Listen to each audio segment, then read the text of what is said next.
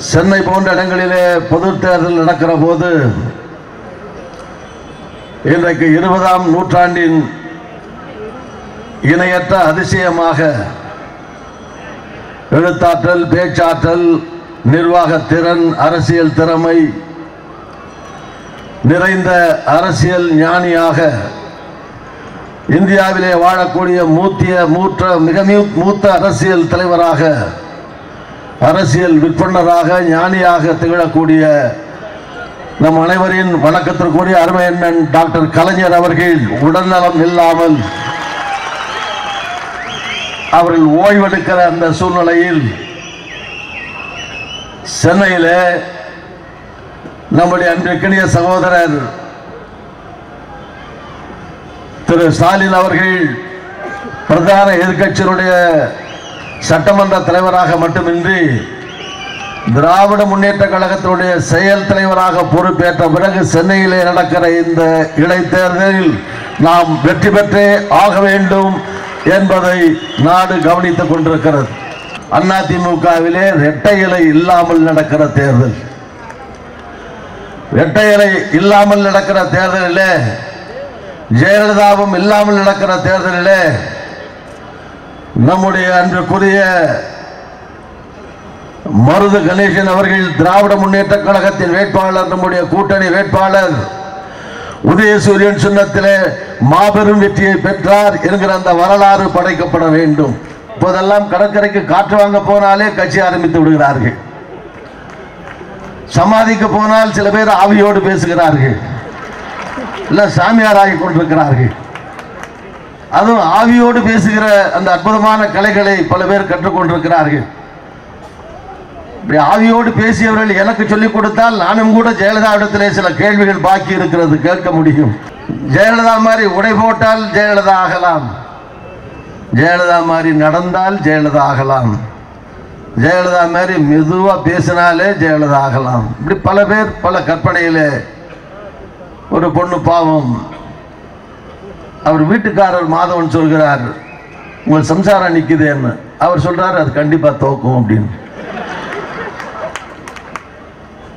தீபா நிக்கிறேன்னு புருஷனை கேட்குறாங்க புருஷன் சொல்றார் அது கண்டிப்பா தோக்குறது சந்தேகமே இல்லைங்க அப்படிங்கிறார். அது மாதிரி ஒரு வேட்பாளர்.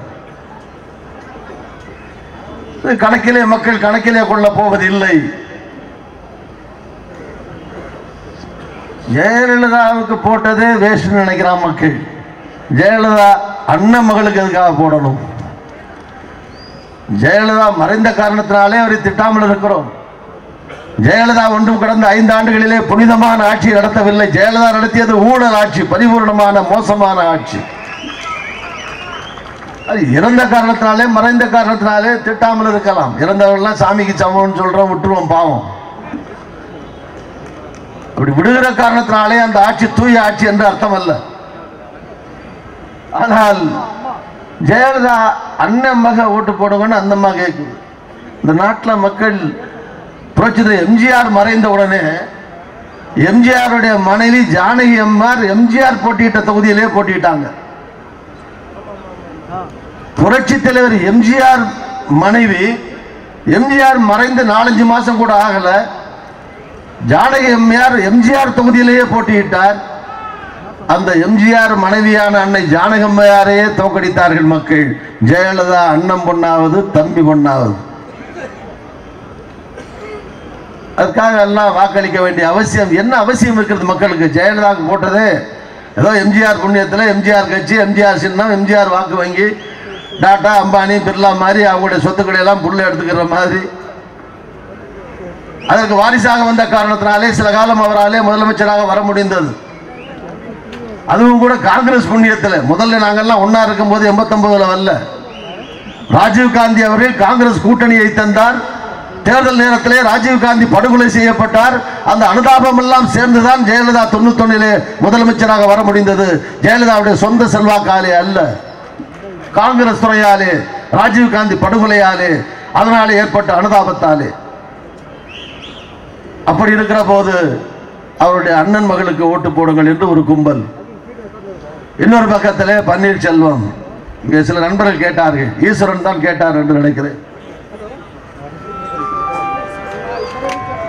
பன்னீர்செல்வம் அவரை பார்த்தீங்கன்னா ஏதோ மகாத்மா காந்தி. அந்த ரேஞ்சுக்கு அவர் போய் ஜெயலலிதா. என்னது? சமாதி ஓ. எனக்கு அடிக்குதா பெல்லு இல்லை அதே அடிக்குதா பெல்? ரெண்டுக்குமா சரி முடிச்சிடுறேன். அது- அதனால அவர் ஒரு பக்கத்தில் இப்போ புதுசாக வேஷம் போட்டுட்டு அங்கே போய் ஆவியோட பேசிட்டு அவர் சமாதியில் உட்காந்து அவர் ஆவிகிட்ட பேசினார். அவர் ஆவி கூப்பிட்டு சொல்லியிருக்கு நீங்கள் முதல்ல அம்மாவை ஆதரிச்சுக்க அம்மானா அந்த சசிகலாவை முதல்ல ஆரம்பிச்சிருக்கலாம் ஆதரிச்சிருக்கலாம் போச்சர் ஆகியிருக்கலாம் முதலமைச்சருக்கு ஓட்டு போட்டிருக்கலாம் எல்லாம் பண்ணியிருக்கலாம். இப்போதான் உன் பதவி போக போகுது உடனே உஷாராகி ஸ்டார்ட் பண்ணி கட்சி ஆரம்பி. அப்படின்னு ஆவி அவர்கிட்ட பேசி ஜெயிலுக்குள்ளே தண்டிக்கப்பட்டு குற்றவாளியாக இருக்கிற நாலு வருஷம் ஜெயில். வந்த பிறகு ஆறு வருஷம் நிற்க முடியாது. இப்போ வயசு அறுபத்தி ரெண்டு நல்லபடியாக ஜெயிலேருந்து திரும்பி வந்தால் சேர்தான் நல்ல உடல்நலத்தோடு இதில் தேர்தல் ஆசையெல்லாம் இருந்தால் இதை காட்டிலும் கொடுமை வேறு ஒன்றுமே கிடையாது. ஆக அது குற்றவாளியாக உயர் உயர்நீதி உச்சநீதிமன்றத்தாலே தண்டிக்கப்பட்டிருக்கிற சசிகலா அவர்களாலே அவருடைய ஆதரவோடு இருக்கிற தினகரன் இன்னொரு பக்கத்திலே அவர் மேலேயும் நிறைய வழக்குகள் இருக்கு. அவர் காலையிலே நீதிமன்றத்தில் இருக்கிறார் சாயங்காலம் உங்கள்கிட்ட வந்து பார்க்கிறார். இது மாதிரி ஒரு கொடுமையான சூழ்நிலை. இப்படி இருக்கிற இந்த நிலைப்பாட்டுக்கு இடையிலே நான் அன்போடு சொல்லுவேன் அதே நேரத்தில் உறுதியோடும் சொல்லுவேன் பணிவோடும் உங்களை எல்லாம் வேண்டிக் கொள்வேன். நான் ஏற்கனவே தொடக்கத்திலே சொன்னதைப் போல இந்த தேர்தல் முடிவு முக்கியமான பின் விளைவுகளை ஏற்படுத்தக்கூடியது.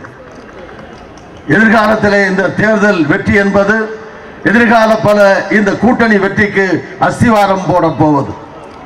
நேற்று பெய்த மழையிலே இன்று முளைத்த காலான் அல்ல திராவிட முன்னேற்ற கழகம் ஐம்பது ஆண்டு கால வரலாறு.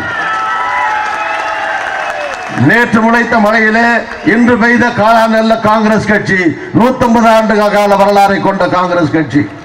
நூறாண்டு கால வரலாறை கொண்டிருக்கிற இந்திய யூனியன் முஸ்லீம் லீக் வலுவான தோழமை கட்சிகள். இந்த கூட்டணியோடு போட்டியிடுகிற இந்த கூட்டணி வேட்பாளர் மகத்தான வெற்றியை இந்த ஆர்கே நகர் தொகுதியிலே பெற்று இந்த தேசம் திரும்பி பார்க்கிற உலகெங்கும் வாழ்கிற மக்கள் திரும்பி பார்க்கிற ஒரு அற்புதத்தை நிகழ்த்தி காட்டுங்கள். உதயசூரியன் சின்னத்திலே வாக்களியுங்கள். வெற்றி தேடி தாருங்கள் தாருங்கள் என்று இந்திய தேசிய காங்கிரஸ் சார்பிலே வேண்டி கேட்டு விடைபெறுகிறேன். நன்றி நன்றி வணக்கம்.